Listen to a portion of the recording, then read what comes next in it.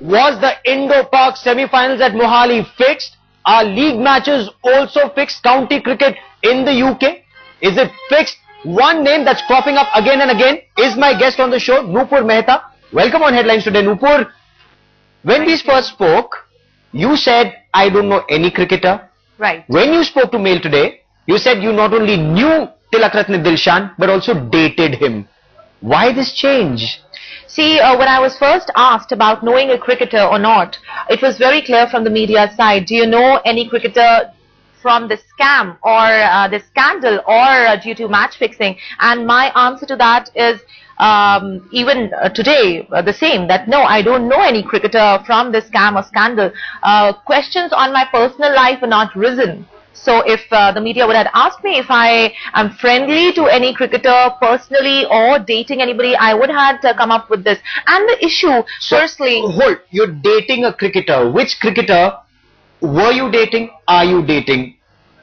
Well, I'm not dating any cricketer for that matter right now. And uh, my name was being linked by with the Dilshan Tillakaratne of uh, the Sri Lankan team.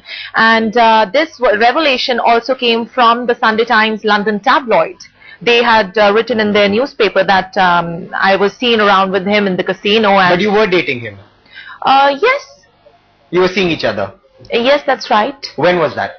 That was during the 2009 um, World Cup, T20 World Cup, uh, uh, held in London, where I met him for the first time. You met him at the Hilton in London. Uh, the uh, hotel's name was uh, Royal Gardens Kensington. Kensington, right. You met him at the Royal Garden Kensington. How did it progress? What happened?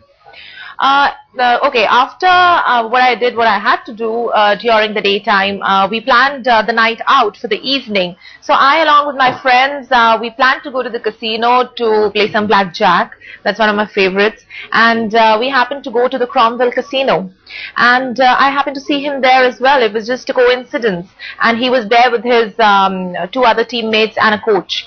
Um, and um, we just uh, said hi to each other again and uh, I sat uh, on the table and I started playing. So uh, he was there next to me and he did not have any money to play the game. So I had to give him some 200 pounds uh, odd bucks and uh, he started playing the game and then he lost everything and he started looking at, at me again.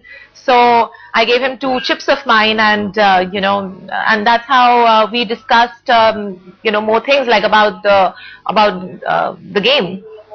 The game blackjack or the game cricket? Now we did not discuss anything about the game cricket though. Uh, it was just uh, the blackjack what we were playing, and I was telling. But he didn't that tell you that he's the Tillakaratne Dilshan and he didn't try to impress you and you didn't talk cricket at all? No, well, of course. Uh, when I met him in the lobby for the first time, I knew who he was. He's an international cricketer, so of course, and I, being an ardent fan, I I knew he, who he was. But uh, we didn't talk about the game, anything.